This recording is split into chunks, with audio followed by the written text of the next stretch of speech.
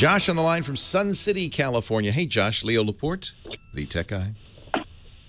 Hello. Hi, Leo. Hey. I'm frustrated with Apple. Yeah, you know, technology can be frustrating. What exactly is happening? I have an 11 year old son, Yep. and I would like him to stop getting all of my email on his tablet.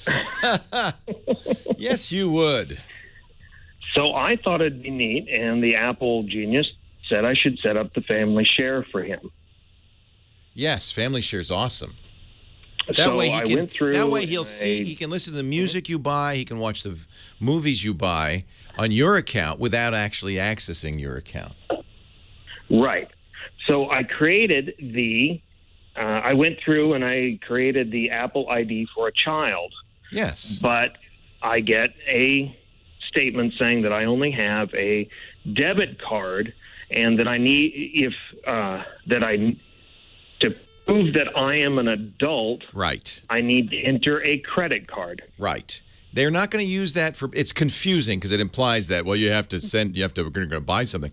But this is actually uh, a, a side effect of the law, uh, federal law called the Child Online Privacy and Protection Act, or COPPA. Uh, kid under 13 has to have parental consent. Now, companies, websites can uh, decide how they want to prove that that's an adult giving parental consent. But Apple's decided that by using the security code, the CVV, on the back of a credit card, you prove that you have that credit card. And of course, you couldn't have a credit card if you were under 13. Right. So that's their method. It says after you create the ID with a credit card, you can change the payment method back to a debit card. So I have to apply for a credit card. You don't have a credit card? no, I'm Well, an adult. I pay How do I how do I know you're a grown up then? My gosh, you could be a deep voiced 12 year old. Yeah, that's a good there's a loophole, isn't it? If what if you don't have a credit card? Right. Well, I don't do I- know. How could you be an American and not have a credit card? You pay your not being bills with cash? Are you insane? you know that is a little bit of a uh, of an assumption on Apple's part. Um, and I'm just looking at their, you know, the kid ID that they talk about on the Apple support Mm-hmm. page. And yeah, before you begin, make sure you're using a credit card as your. Well, how do you buy stuff on the uh, on the iTunes store? Use a debit card. I use my Visa debit card, and that's how I use Apple Pay. My Visa debit card. Got it. It says if the card on file is a debit card or another payment method, you'll be asked to provide a credit card before you can continue. That's, eh, you know what? I would call Apple support and say, come on, there's got to be a loophole here. I did, and for an hour and a half I was on the phone, and then they actually asked me to go find a, uh, a cellular network to get off my Wi-Fi, and so I drove about 10, 15 minutes down the road, What? and it didn't work. And then Apple called me back. Called me back. I went through three operators and upper tech support. Holy cow. and you have to be an adult to use it. And the only way you can prove that you're an adult is if you are a good American with a credit card. Wow. Well, I'm being a little frustrated too. Um, that's it. You know, and, So and I should say that this is not part of the COPPA law. This is the, the COPPA law only says that the, the, the site has to somehow, you know, prove you're an adult. I would think that Apple would have some system where you could send them a copy of your driver's license or something. Because because not everybody, uh, guess what, Apple, has a credit card.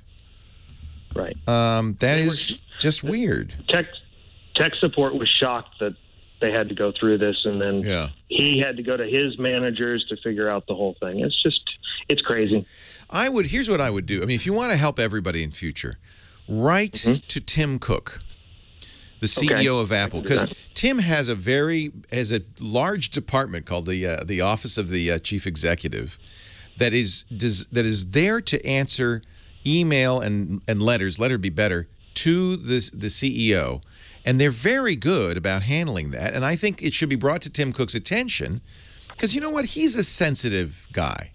I think he mm-hmm. he really does want to do the right thing, and say, you know, not every parent has a credit card. You allow the use of debit cards for Apple accounts. That's what I use. I would like to use family sharing.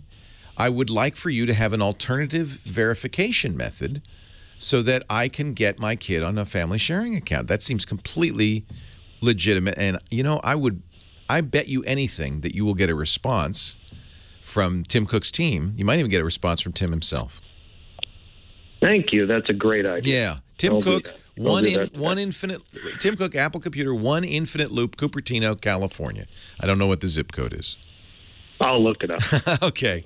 You know, yeah, I'm glad you brought this up. That is a that is a interesting loophole, um, and I think it is uh, really unfair of them to assume that everybody has a credit card. And you certainly shouldn't have to get a credit card just so you s- sign your kid up. You you might even want to if you have more than a few hundred Twitter followers, you might even want to tweet at Tim Cook and uh, and let him know. This is a very interesting question. Wonder why they don't accept debit cards. Is it because I don't know? Are they? Could a kid have a debit card? I don't think so. They sound like they do have a some sort of weird backup verification system that involves the cell phone. I think they could do better. Come on, folks. There's you know this is why we invented technology, not to make life more bureaucratic. I bet you anything Tim Cook would respond to that.